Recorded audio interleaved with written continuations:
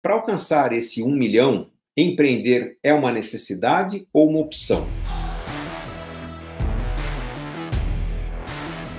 Empreender é uma possibilidade, tá? Na verdade, o que você precisa para chegar no patrimônio financeiro é de renda.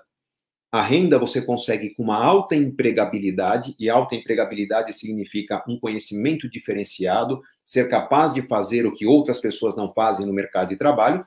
E se você, por alguma razão, às vezes por falta de capacidade de investimento, às vezes por falta de tempo, às vezes por falta de vontade de estudar, nem todo mundo tem perfil de estudo, se você não conseguiu criar esse diferencial na sua carreira, empreender é uma possibilidade. Agora, eu acho que o mundo dos investimentos não é diferente para uma pessoa que é empregado, seletista, até servidor público, é, ou de uma pessoa que é empreendedor. Uma coisa é a vida da sua empresa, essa empresa tem que ter reserva de emergências, capital de giro, é, todo um planejamento para lidar com a evolução desse negócio, e a sua vida pessoal tem que primeiro respeitar o investimento e maior risco que você tem, que é da sua empresa, tá? Então, quem tem uma empresa provavelmente terá uma carteira de investimentos mais conservadora, só que a sua vida pessoal tem que ter também uma reserva de emergências, tem que ter é, uma construção dos seus objetivos adequada ao prazo que você tem, aquilo que a gente chama de alocação. Né? Quanto maior o prazo para realizar um sonho, mais agressiva vai ser sua carteira de investimentos, mais arrojada vai ser essa carteira,